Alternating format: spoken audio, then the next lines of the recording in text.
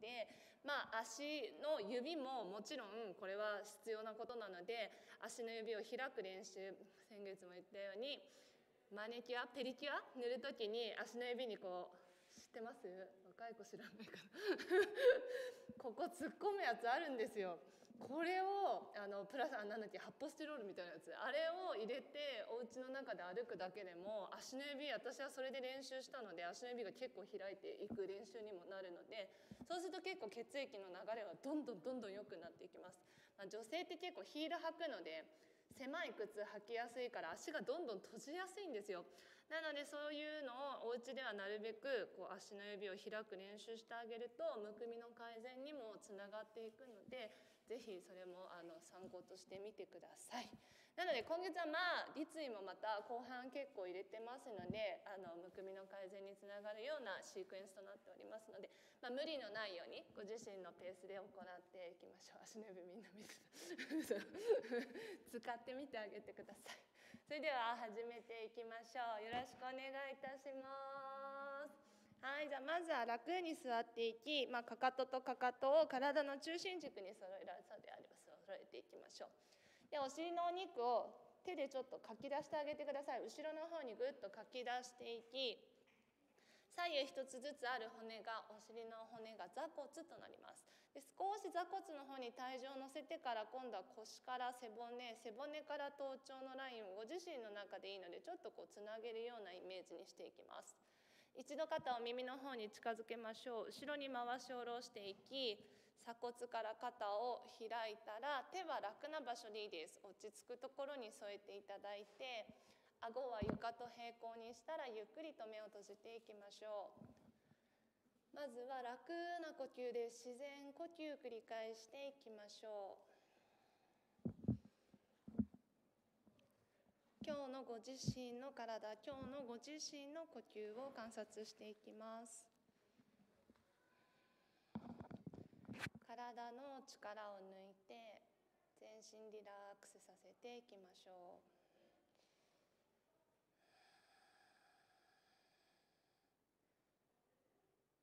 お腹も柔らかくしていきます。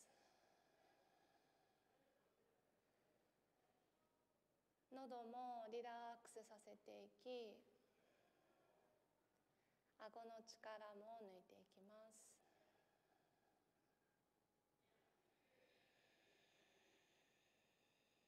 お口の中もない状態を作っていき舌も自然な場所に置いていきましょう。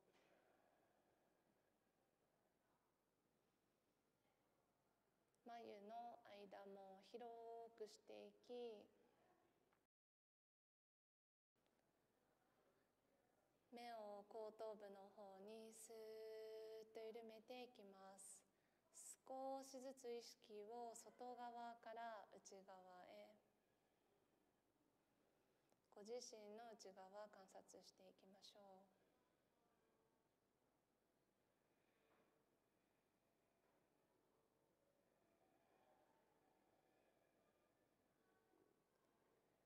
それでは次の歯から大きくため息をついて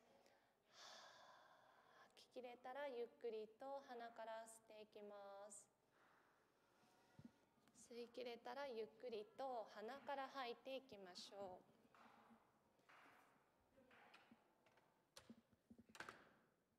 まずはお腹に意識を向けて呼吸繰り返していきます。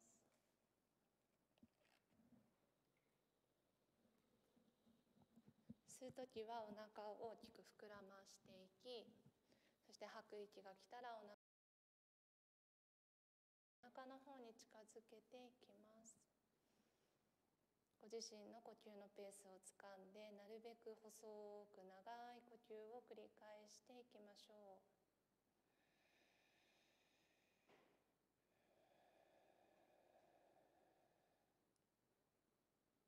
今行っている呼吸法が腹式呼吸お腹の呼吸法となります。お腹を大きく動かしながらマッサージするように呼吸を続けていきましょう。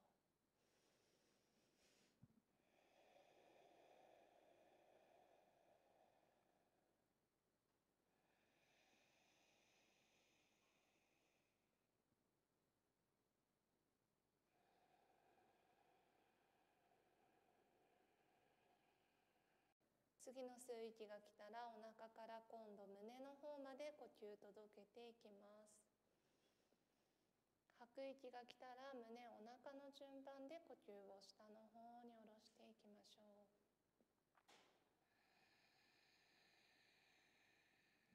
胸の近くにある骨が肋骨という骨になります。その肋骨を吸う時に外側に開いていくようなイメージですそして吐く息が来たらその肋骨は元の位置より縮めていくようなイメージです。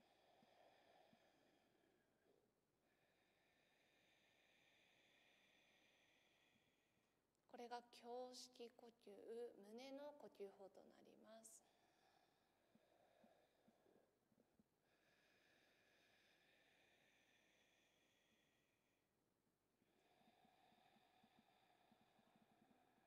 意識的に呼吸を行っていきましょう。ご自身で呼吸のコントロールをしていきます。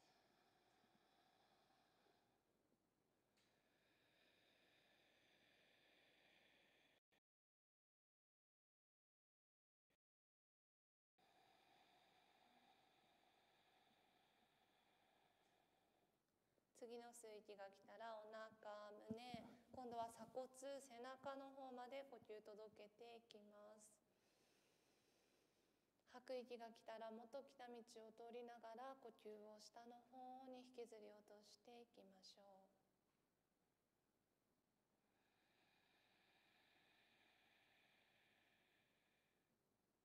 深く呼吸していきます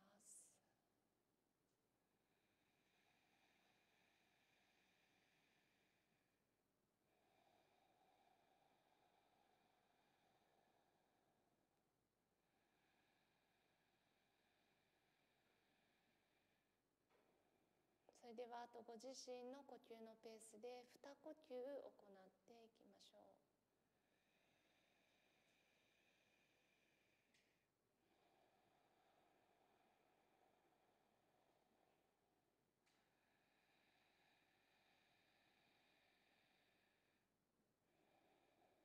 二呼吸を終えた方から胸の前で合掌していきます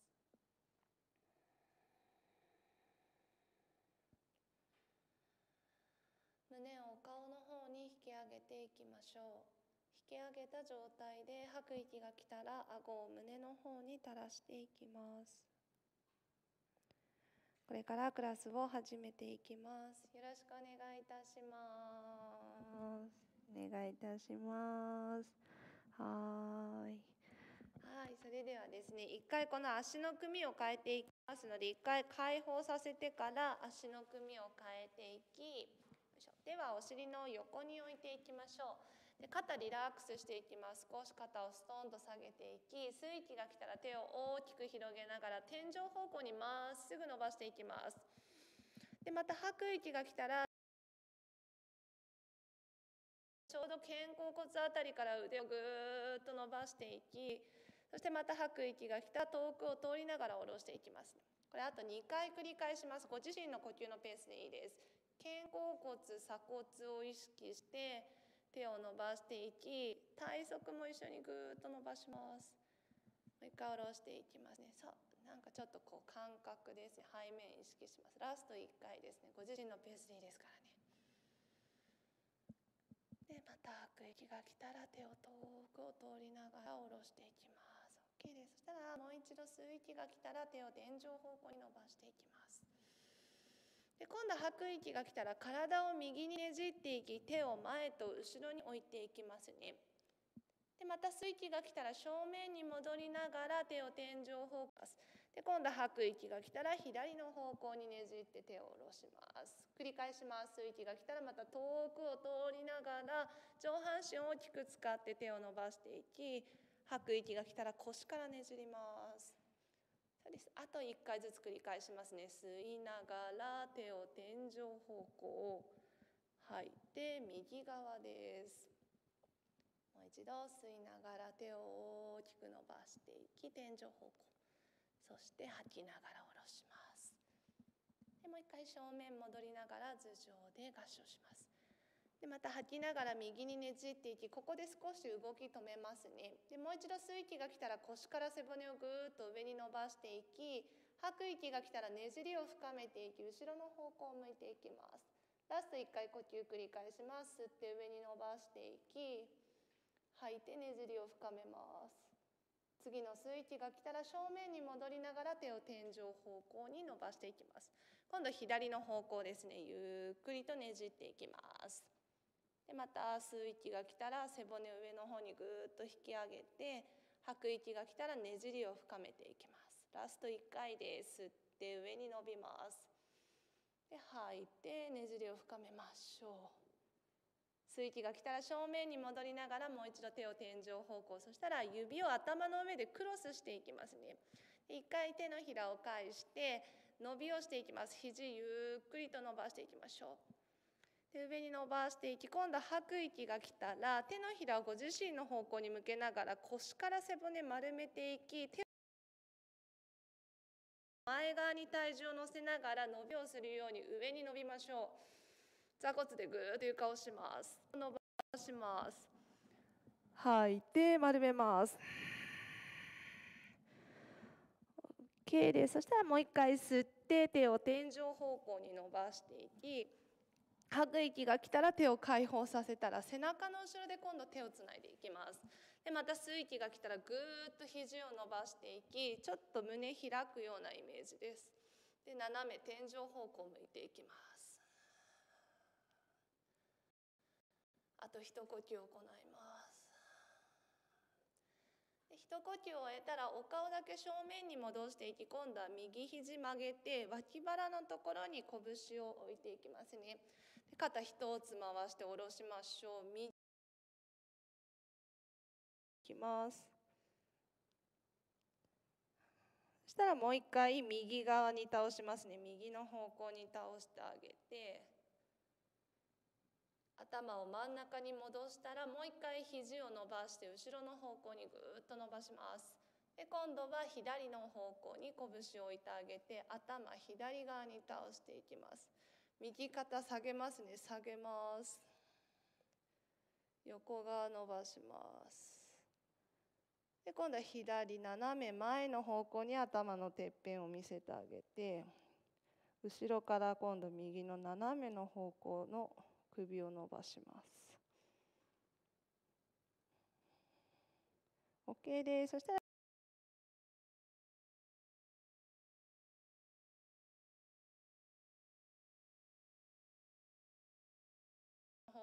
ばしてあげてください。ぐーっと伸ばします。で吐く息が来たら手を解放させて背中を丸めるようにして頭垂らしちゃって大丈夫です。ちょっと脱力する感じです。OK です。そしたらお顔正面に戻していきましょう。OK です。そしたら四つん這いになっていきますので手を前についていきお尻を持ち上げたらオールフォーに入りましょう。手幅ぐらいに開いていきます。肩の下に手首がくるように置いてあげて人差し指が正面向くように手を大きく広げていきましょう。肩は一つ下げてあげて頭のてっぺんはマットの方に垂らしていきましょう。首の後ろ側脱力します。次の吸う息が来たら背中を反らしていき胸とお顔を正面の方向に向けていきましょう吐く息が来たら背中を丸めていき少し手でマットをしながら目線をおへその方向に持っていきます。ご自身の呼吸のペースで繰り返しますね。吸う息が来たら背中を反らしていき胸も前の方向にぐーっと開いていきます。で歯丸める時は肩甲骨をちょっと広げるようなイメージで背中の中で一番高くなるように持ち上げましょう。一呼吸一動作でご自身の呼吸の長さに動きを合わせていきますね。流れるように動いていきます。でこれも骨盤の前傾後傾が入ってますので反らしていく時はお尻の穴が後ろの窓の方向にたくさん開くようにしてあげてください。ぐーっと開いてあげてください。で丸める時はお尻をしまい込むような感じで背中を丸めていきます。じゃああと1往復繰り返します。反らしていき。丸めていきます。で吐き終えたらですね足つま先立てている方はつま先を寝かせてあげて一度かかとの上にお尻を乗せたら手を少し一歩だけ手前に歩かせます。でご自身の手でですねマットをぐっと前に押すようにして腰から背骨を前の方向に伸ばして肩少し下げていきますね。そこから左の手をちょうどマットの真ん中に左の手を置いていきます。で右の手のひらは後頭部に置いていきちょっと距離が遠いかなと思ったらまたちょっと手前に歩かせてあげてくださいね。右肘をゆっくりと天井方向に開いていきねじります。右側にねじっていきます。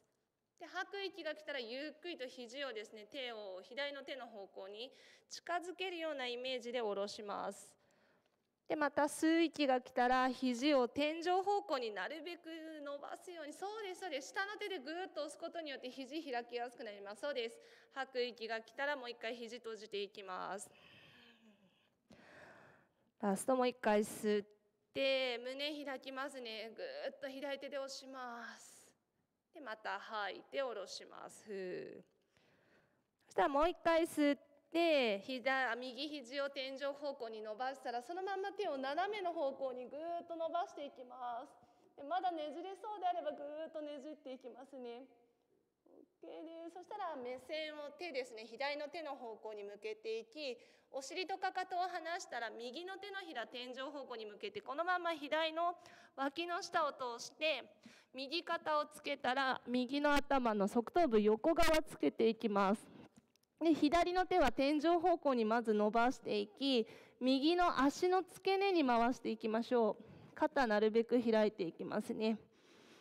でもっとねじりが深められそうであれば天井方向にひと肩です。肩とお顔が向くようにねじります。あと一呼吸行いましょう。で一呼吸を終えたら一度左の手を天井の方にまっすぐ伸ばしてあげてまたお顔の近くに左の手を戻していきます。ゆっくりと戻したら左の手でプッシュしてて右の手を抜いたら四つん這い一度背中丸めますね。吐きながらぐーっと肩甲骨持ち上げていきます。OK です。そしたらそのままもう一回かかとの上にお尻を乗せていきもう一度手を近くに歩かせてから肩が内側に入らないように少し肩を下げるようにして手のひらでしっかりとマットを押していきますね。少し腰から背骨をぐっと伸ばしていきます。で今度は左の手を後頭部あごめんなさい右の手を真ん中にまず持っていきます。で左の手後頭部でゆっくりと左肘を天井方向に向けていきます。でまた吐く息が来たらゆっくりと肘を閉じていきますね。私左の方がすごい苦手なので左の方が上がりづらいです。吸ってぐーっと開きます。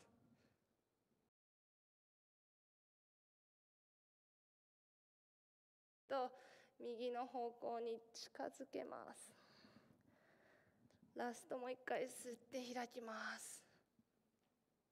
で吐いて閉じます。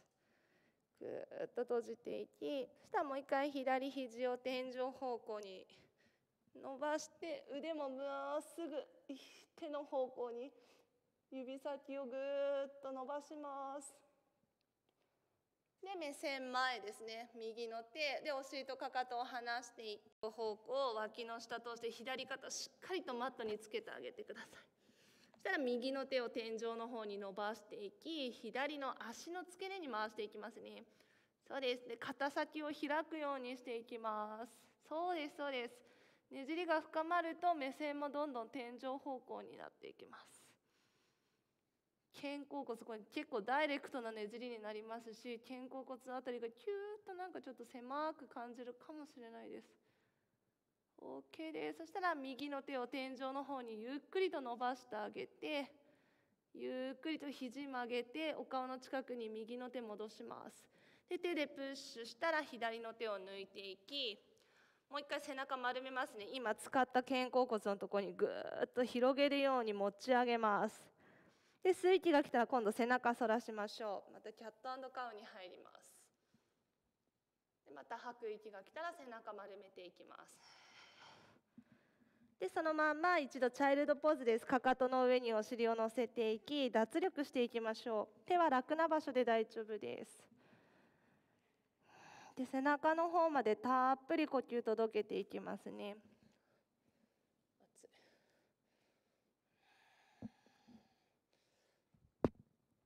お水飲みたい方このタイミングであの水分補給を行ってくださいね。必要ない方はあのそのままお休みに入ります。暑いね。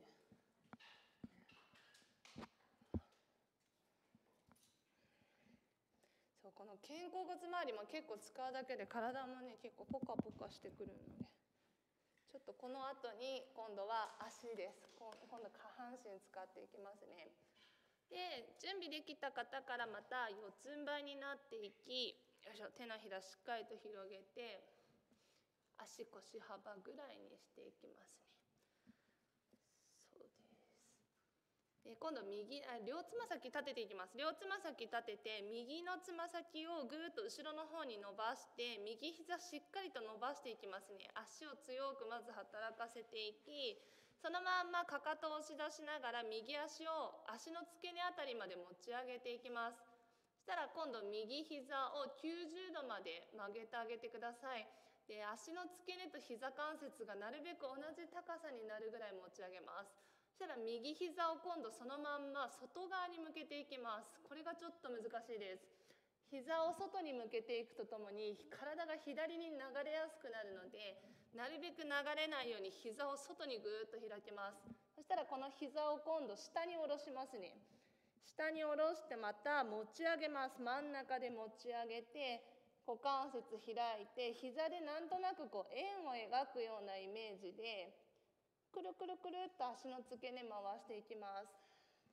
これが結構大変。そうです。最初なのでちょっとちっちゃい円でも大丈夫ですからね。そう回します。でまた真ん中に戻ったら今度反対回りですね。今度は下外真ん中。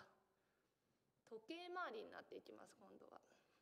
そうこの外側の動き。そう内回り外回りをちょっとこうね股関節を使います。うんグッドですグッドですグッドです。OK です。そしたら真ん中に戻った方からかかとを押し出しながら足を後ろの方にぐーっと伸ばしてあげてください。足の付け根から。吐く息が来たら背中を丸めてお顔と膝近づけます。グッドです吸って右足伸ばします。で吐く息が来たら右膝を下ろしてまた四つ這いに戻りますね。今度は左足です。左のつま先を後ろに伸ばして膝裏をしっかりと伸ばします。でそこから足を持ち上げて膝90度です。ちょっともうつま先は楽にしてあげてで今度は外に向けますよ。左の膝を外に向けていきます。お腹ちょっと使いますね。でまた下に下ろしてあげて真ん中で持ち上げていく。膝そうと中に落とす。今度は時計回りです。今度は。くるくるくるっとちょっと回す動きに入ります。これももちろんヒップアップにもつながっていきます。そうあとは鼠径部ですね。ここの柔軟というかそうほぐしてあげること。グッドです。そうです。そうです。そうです。じゃあ今度は反対ですね。下から外です。下外真ん中。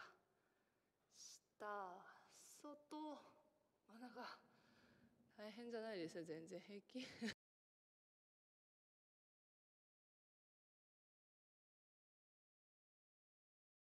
これでもこれやるだけでもすっごいあのね体ポカポカとしていきます。うんグッドですよ皆さん。そうですそうです。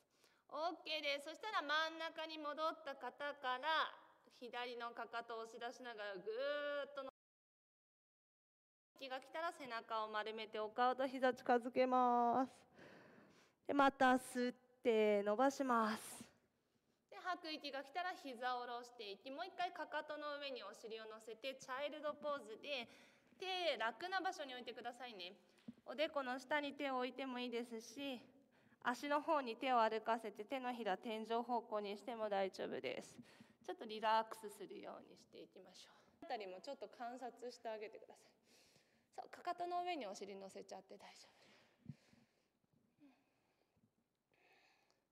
そうチャイルドポーズもちょっとチャイルドポーズがきついなと思ったら膝開いちゃっていいですからね。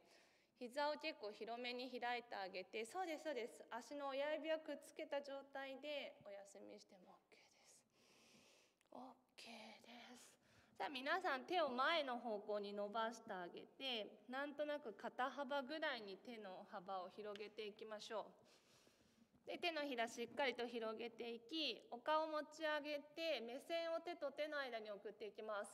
ここで肩ですね肩が内側にこうやって入りづらい入らないように少し肩を外にくるくるっと開いてあげて耳と肩をなるべく離すようにして下ろしますそうすると脇の下もしっかりと伸びていきます。でゆっくりとお尻とかかとを離したら両つま先を立てて体の下で三角のポーズです。ドッグポーズに入っていきます。ゆっくりとお尻持ち上げてで足踏みしたい方足踏みしてあげたりとか好きなように動いてあげてください。両膝曲げて太ももとお腹を近づけてあげるとお尻がぐーっと開きやすくなったりしますのでまずは背面のほぐし腰を伸ばしたい方は両膝を曲げる。必要ない方はもうドッグポーズに入っていく。で深く呼吸していきます、うん。で手の方にばっかり体重が来てるなと思ったらもう少しお尻を天井方向に突き上げるようなイメージにしていきます。なんとなくこう体の下で三角均等にちょっと三角形を作るようなイメージにしていきましょう。したら両かかとを高く持ち上げてつま先立ちに入ります。この時に膝頭ぐーっと引き上げてお尻を斜め天井方向にたくさん向けていきますね。で深く呼吸します。そ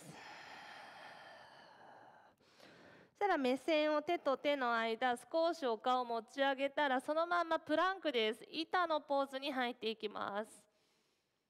そうです。でお尻を少ししまうようにして足もすごく使いますね。これかかとを押し出してあげてください。そうですそうです。で頭が下がりすぎてしまうと背中が丸くなって手の方ばっかりに体重がいきやすくなるので頭もまっすぐ斜めの方向に伸ばしてあげてください。そしたら両膝ゆっくりとマットに下ろしていきましょう。脇を締めてゆっくりと肘を曲げながら下まで降りなくていいので肘曲げます。で足の甲を寝かせてそのまんま吸う息が来たら流れるように上半身持ち上げてお腹伸ばしましょう。アップドッグです。でこれもつま先が内側に向いたり外に向きやすいのでまっすぐ足の甲を寝かせてあげてください。じゃあまた両つま先を立てていきドッグポーズですね。体の下で三角のポーズを作っていきます。そうです。深呼吸します。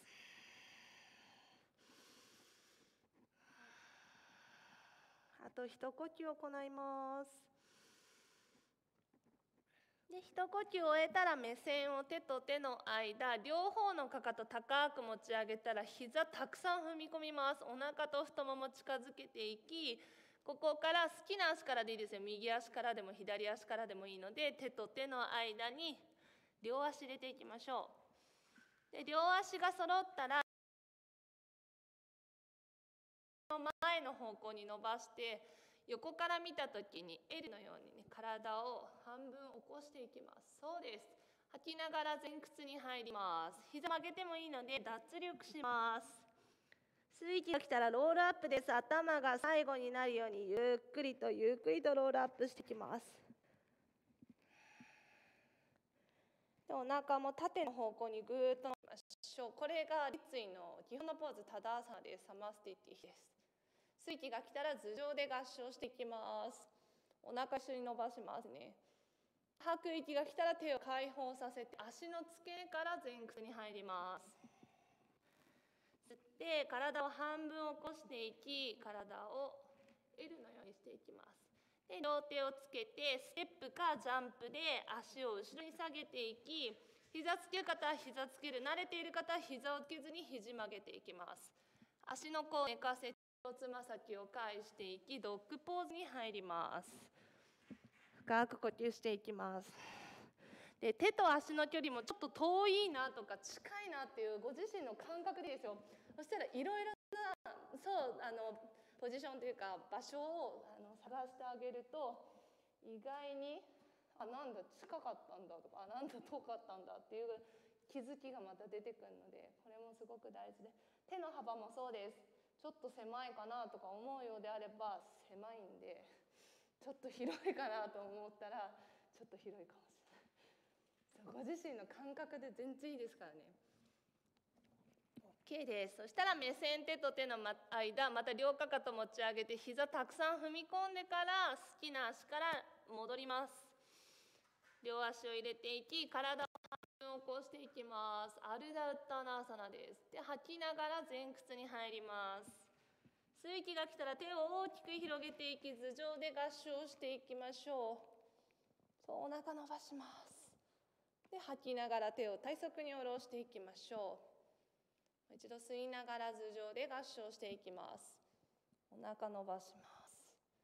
吐きながら前屈です。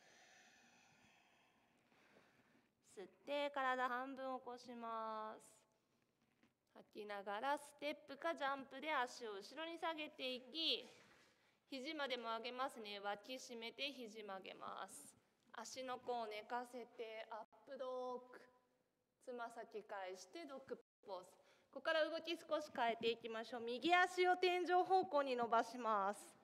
ぐーっと気持ちよく伸ばしていき右膝を胸に今度引き寄せます。上げてちょっと背中丸める感じでいいです。なるべく太ももとお腹を近づけながら板のポーズに入るようにして手と手の間に右足入れていきます。さあでちょっと歩かせてあげて手の指先立てて体を一つ起こします。この時のポイントが左のかかとを後ろの方ぐーっと高伸ばしてあげて持ち上げて左足強く働かせますね。そしたら右の手あごめんなさい右足に両手を置いてあげて少しずつ体を起こします。つま先正面向くようにしていきますね。でもう一回骨盤の上に上半身が来るようにしていき手をお尻の横に置いていきます。吸いながら持ち上げます。そうです。ちょっと右足の方に体重が行きやすいので体を少しずつ後ろの方にもそうです OK で目線はちょうどこの目の高さに定めてあげてくださいね。そしたら吸いながら右膝伸ばします。足の親指の母子球と小子球前足使いますね。で吐く息が来たらまた膝90度まで踏み込みます。大丈夫かな？そうです。後ろ足が強い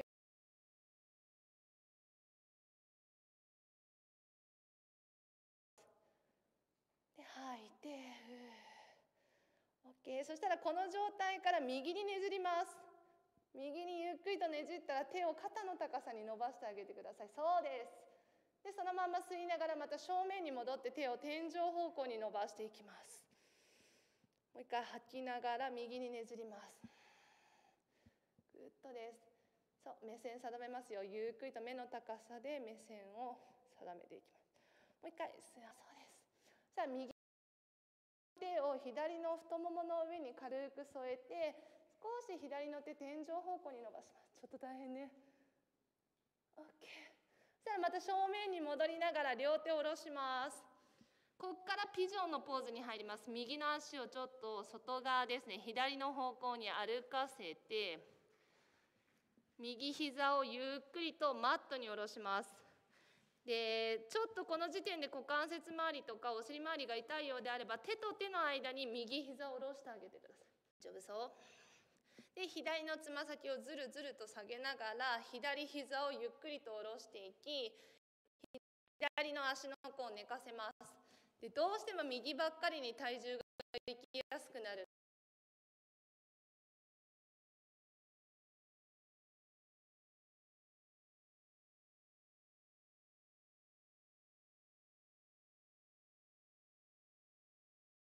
回ぐっと伸ばしましょう。で少しずつ前を見ながらちょっとずつ手を歩かせて少しずつ倒しますね。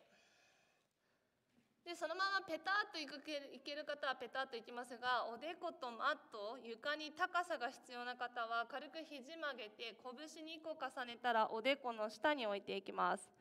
もうちょっと低くて大丈夫だなと思う方は今度手を手下ろします。のままいける方は全然前に伸ばしてあげてください。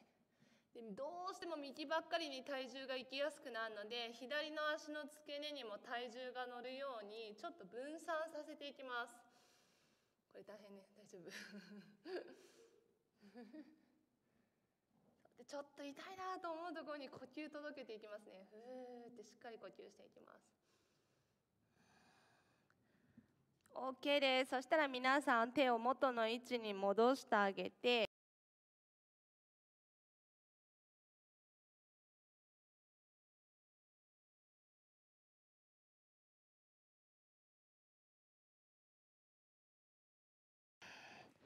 で深く呼吸します、まあ、右足と左足のちょっと観察も行いますね。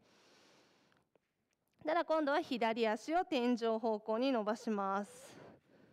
気持ちよく伸ばしていき左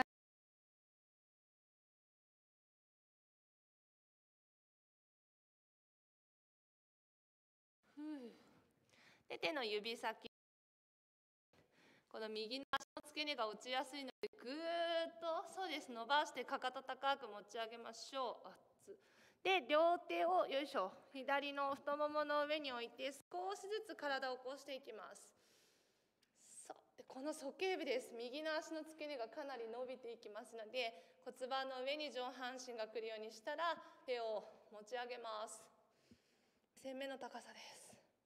で吸って膝伸ばします。上に伸びてふラスト吸って伸びます。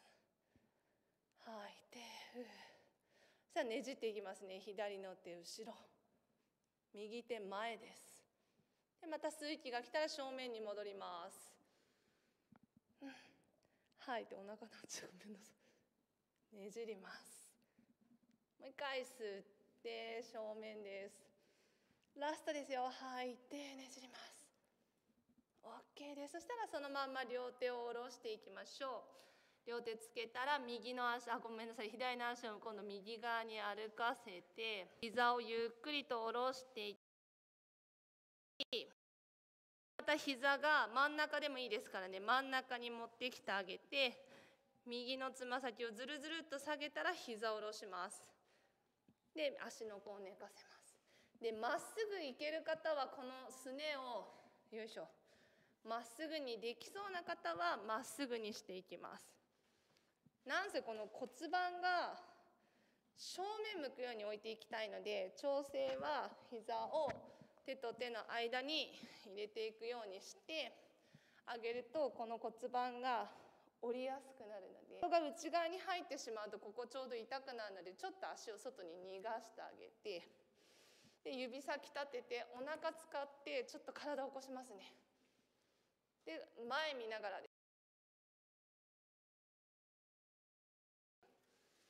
頭がこう下向いてしまうと背中が丸くなるのでちょっとずつちょっとずつちょっとずつ歩かせます。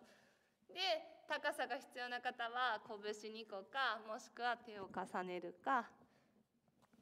使ってあげてで今度は左のお尻ばっかりに体重がいきやすいので右の足の付け根にも体重が乗るようにしていきましょう。ブロック使えればね左のお尻のちょっと下に入れてあげるとあの高さが均等になるのでちょっと大変ね。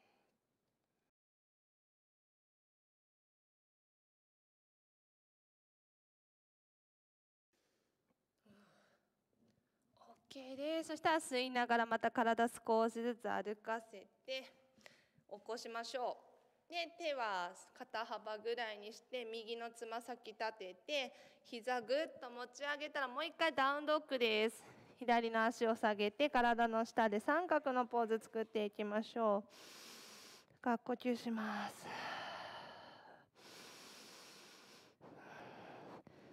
たら目線を手と手の間ステップかジャンプで手と手の間に両足を戻します。で体を半分起こしましょう。吐く息が来たら前屈に入ります。吸いながら頭上で合掌していきましょう。吐きながら手を下ろします。ラスト呼吸を整えるように太陽礼拝に入りますね。吸いながら吸いながら頭上で合掌親指の方向に目線定めます。鼻先の方向を見ながら前屈に入ります。吸って体を半分起こしておでこおでこの方向に目線定めていきます。でまた鼻先の方向に目線定めながら両手をつけてステップかジャンプで足を後ろに下げて脇締めて肘まで曲げていきます。吸いながら足の甲を寝かせておでこの方向目線定めます。両つま先を返していきドッグポーズでおへその方向を覗き込むようなぐらい頭垂らしてあげてください。深く呼吸します。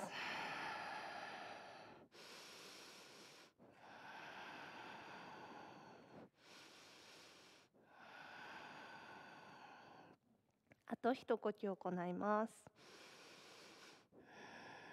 で一呼吸終えたら両かかと持ち上げてゆっくりと膝を下ろします。つま先使ってあげてゆっくりとゆっくりとゆっくりと膝を下ろします。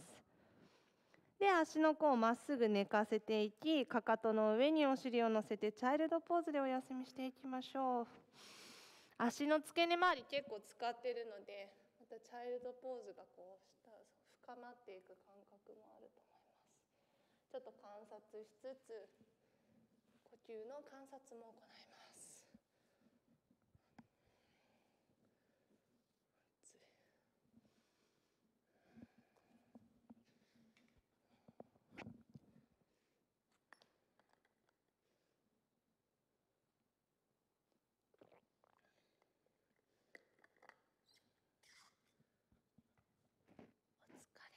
でした手を顔の近くに置いていき一度ゆっくりとロールアップしていきましょう。ではお水飲みたい方お水飲んでいきますね。スタンディングが以上となります。でよいしょ。足を今度は前に伸ばして今度は座位に入ります。お水飲んでくださいね。結構体温まってくると思いますね。このね股関節周りとか使っていくの。でだあと、えっとまあ、大体のシークエンスっていうのは今月は一緒なんですけど1周ずつちょっとポーズを増やしていきます、まあ、今日はちょっと最初でこの多分この上がって伸びて下ろして伸ばしてっていうのが多分ちょっと大変かもしれないんですけどもし時間があったら足を壁にかかとと足の裏をつけてつま先を下ろしてあげるんですね。そうすると足の裏で壁をぐっと押すことによってハイランジのポーズがすごく安定してくるんですね。なので後ろの足がかなりのキーポイントになっていくんですね。なのでこうやってちょっと壁使って伸ばす曲げるってやってあげるとめちゃくちゃ楽なので後ろ足がかなりポイントになっていくにはちょっとこう足の裏でちょうどこの母子球あたりは指先はここついてるんですね。でも足の裏とかかとがぐっと床壁を押す力を使うことによって安定感とあのその動かす時にそんなに無理なく動かせるのでもしお家で時間あれば是非やってみてくださいかなり楽ですすごく楽なので結局合わせていく動きそうすることあと目線も定めてあげると意識がこうここにフォーカスしていくので安定感も出てくる。ちょっと目線も大事にしてあげてください。そしたら、えっと、前屈に入っていきますのでお尻の肉をかき出して腰がもしちょっと沈むようであれば軽く膝全然立ててくださいね。で腰をちょっとこう立ち上げるように持ち上げるようにして背骨をまっすぐ伸ばします。でそこから吸いながら手を持ち上げて少しお腹をですねぐっとへこませながら前に伸びます。前に伸ばしながら伸ばしながらゆっくりと手を足先でもいいですし床でもいいですし楽な場所に置いて脱力します。これもつま先をちょっとこう天井方向に伸ばしていくようにして足の裏は前に押し出すようにしていきます。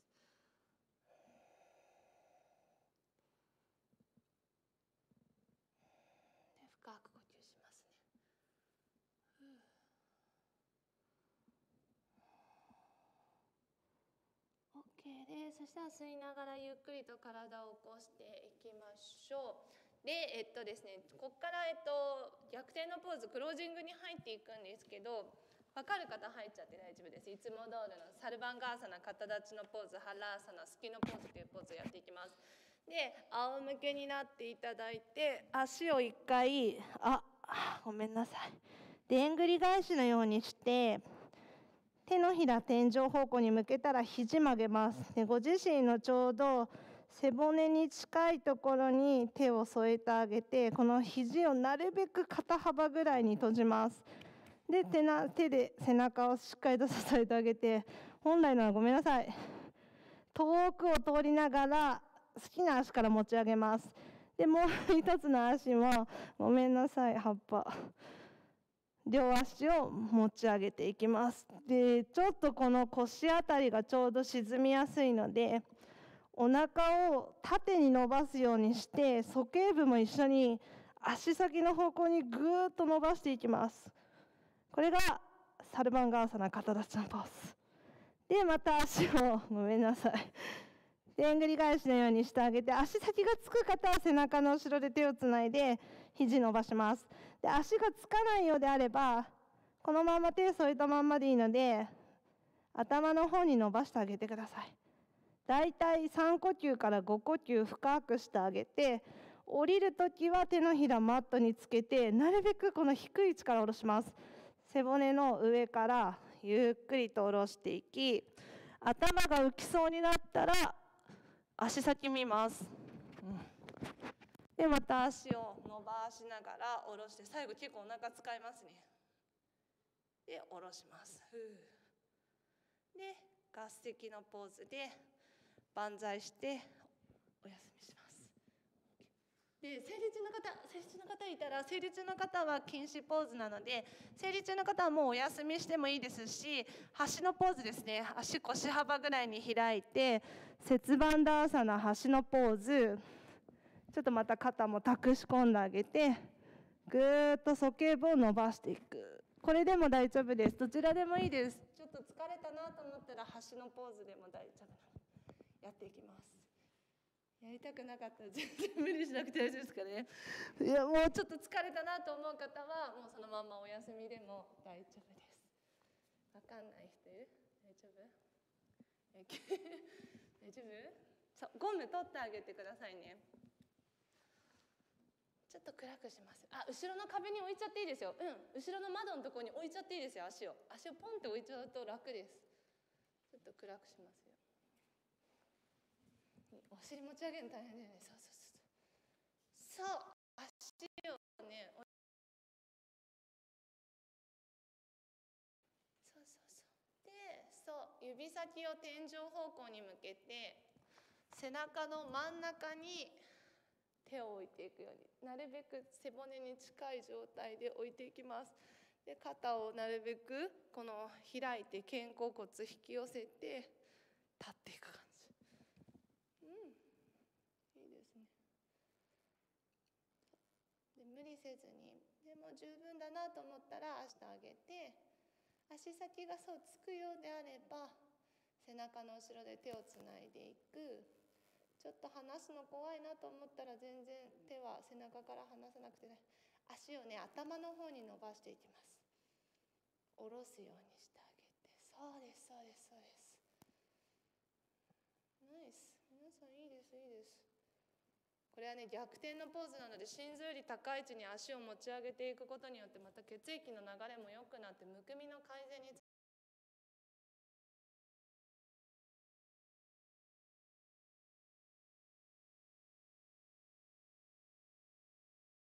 るように低い位置から下ろしますね。最後お腹使いますよ。そう。そう。うん。ナイス。ナイス。ナイス。うんこれは皆さんいい。を内側に向けて膝パカッと膝パカッと開いた。で手万歳してお腹伸ばしてあげて。くださいうんナイスナイスナイス。そうですそうです。ゆっくりとゆっくりと下ろします。ナイス素晴らしい。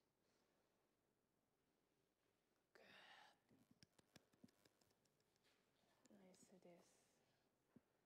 でお腹伸ばします。そしたら手をですねお尻の横に下ろしてあげ合席のままお休みしたい方はこの足の形をお休みします。足伸ばしたい方は膝を閉じて足を前に伸ばしてマット幅程度ぐらいに足開いちゃっていいですからね。で足首もリラックスさせてちょっとでゆっくりと目を閉じて最後のポーズシャバーサナに入ります。あ結局私ごめんなさい。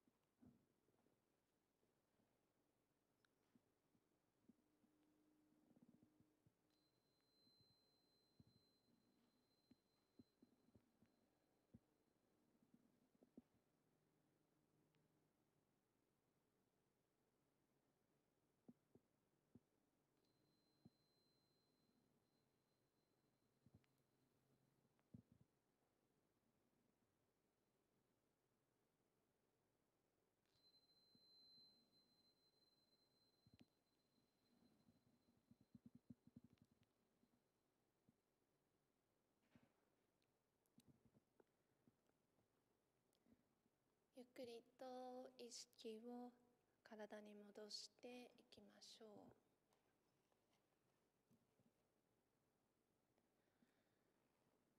手足少しずつ動かしていきます。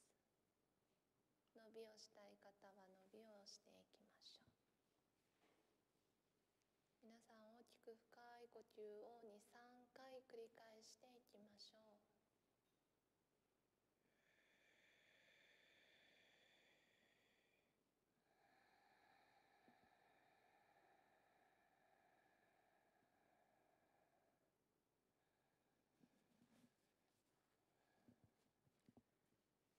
膝ずつ立てていきます。体を小さくしながら右側にコロンと横になって少し背中丸めていきましょう。左の手を使ってゆっくりと腰から起き上がっていきましょう。お疲れ様です。楽な座り方で座っていきます。最後目を閉じて終わりにしていきましょう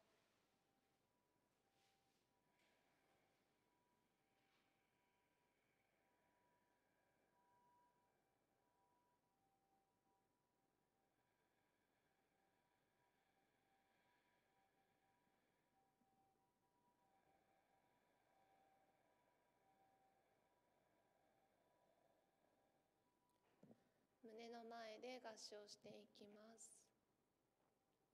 親指を胸の間に添えていきましょう。胸を顔の方に引き上げていきます。引き上げた状態で吐く息が来たら顎を胸の方に垂らしていきましょう。今日もご自身の体に感謝をしそして素敵な午後をお過ごしください。りがとうございました。はいお疲れ様です。ありがとうございました。お疲れ様です。ありがとうございました。お疲れ様です。ちょっと明るくしますね。ごめんなさい。結局閉じたまんまでやってましたね。ちょっと開けますね。よいしょ。うん